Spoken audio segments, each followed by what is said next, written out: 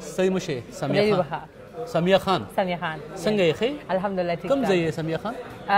اوریجنلی د مردان لونپال لون خور مردان مردان لون خور خو ډیر مشهور دی ډیر تکړه خلک به کې باندې او دا خو دا څه کوي په لندن کې دلته سبق وایم اوس مې ډیګري کمپلیټ کړه او اوس ماسترز ته اپلای کوم نو څونه وخت نه یې په لندن کې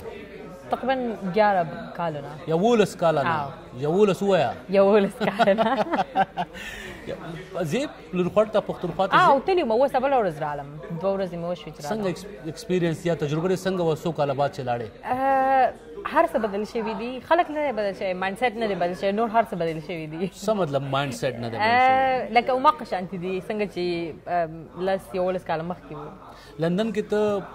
چې کومې جامې اچې لکه دلته خو یقینا چې سکول ته ځې پتلون به وي د مغربي لباس به وي هغه شان لباس دلته کې نه کوشش دې کړی دی نه نه ولې اسلام آباد کې مې کړی و کوز اسلام آباد از ا بیټ مور لیبرل اند بیټ مور اوپن بټ دغه اوبسي کلی کې نه کیږي بس نه کیږي نو لکه ته لکه ته په اسلام آباد کې کوشش کولای شي چې د خپل مرزي ژوند تیر کې دی او جنې په هیڅ باندې خو په لنخوړ کې نشي کولای په لنخوړ کې نشم کولای مردان کې نشم پیښ کولای پیښور کې نشي کولای لکه څنګه چې ما الته دا کړو نو لایک زموږ پښتنو ایریاز کې کم کې نشو کول لایک ته چې بیا غرونو ته لاړ شي لایک زه غرونو ته تلو ما لایک معلم جبې تا کالام تا چترال تا کالاش تا هغوی هلته هم بیا لکه څنګه چې ما کپړې غوښتلي ما قشن اچولی شوې څو چاته مسله نه وه خو لکه کلو کې نشي کولی دا څنګه تا محسوس کړل چې یو ملک کې دوه ځایونو کې دوه قسمه خلک پاتې کېږي ولې دا فرق ولې دی یو خو ایجوکیشن فرق یو مایندسیټ فرق یو چې لکه ته سونه لکه کلچر دی هغه فرق لکه تا کې خپل پته نه پښتو کې ورته سوې خو لکه کلچر چې کنه چې لکه تا کې کلچر ډیر دی او نو اوس بر لاړ شي هلته دونه کلچر نشته دا د پښتنو تاریخ دی یا د پښتنو کلچر دی یا د ثقافت دی یا رواج دی یا روایتونه دي چې هغه داسې کوي ښه سمیه نور څه تجربه وشو ستا داسې چې هغه د یو انګلند کې یولس کاله تېره شوې جنۍ چې وي د هغې لپاره بیا لک شاکینګ وی لک حیرانون کې بیچاره د کاش کې داسې نه وي شریکول شم وی ډیر ډیر شی وی یو خدا و چې لایک د وړو جنکو ودونه زر کیږي په دې باندې ماته لکه ډیر زیات شوق ما او دا لکه بالکل هغه ته عام خبره ښکاري دا بالکل نورمال خبره ده نو چې جنې سلګ غونټي غټه شي بس وای د دې د واده ټایم رااله سیکنډ خبره دا چې جنکې خو ایجوکیټډ دي لایک ډیګریز ورسره میډیسن ډیګریز لکه جرنالیزم ډیګری پولیټیکل ساينس ډیګریز او ما ایکسپیکټ نو کړی دا ټول ډیګریز دوی سره بټ هغه چې څنګه واده شنو وای کور کې کینا لکه فزیوتراپیست هغه ټول کور کې ناست دی هغه وی موږ لکه کار نه کوو بیکاز موږ تر پیسو ضرورت نشته موږ یا پلار را کوي یا دغه را کوي رو را کوي یا خاوند را کوي نو دا ما په لکه تاسو دونه ټایم ویست کو سبق وخم ضایع کو بس بیا نو تا چلته وینو ته خو پیغلوم یې سبق دی مو لري او خیسوم یې نو تا ته چا د واده ساتو کو بل درانه دا بل نه چا د ته ویل چې واده وکا مور پلار خوندرونو کلیوالو ټول ختی ان ختی درته ټول ختی تا د سات څنګه خلاصو بیا اه بس مورت کنه څوک د خوښ شو خوښ درو شو نه نه نه مورت زلا تیار نه یم زلا منټلی تر لکه ریډی نه یم چې کله تیار یم بس بیا به څه مطلب دی د خبرې چې زه منټلی ریډی نه یم یعنی ذهني توګه لا تیار نه یم ذهني څنګه څنګه نو چې لکه اوس تا یو دغه یې که نه چې ستا اوس وایې چې زه کول غواړم لکه زه اوس منټلي ریډي یم زه ریسپانسبلټي اخیستی شم د مارډ لایف یا د بچو یا چې څه دغه راځي هغه ته اخیستی شي ما ته اوس پته لګي چې لګي چې زه خپل ریسپانسبلټي ښه په ګران اخیستی شم نو لایک